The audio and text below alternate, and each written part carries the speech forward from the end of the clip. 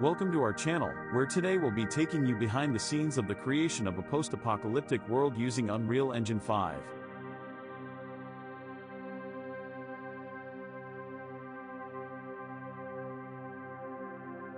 Get ready to witness the magic unfold in this time-lapse scene creation.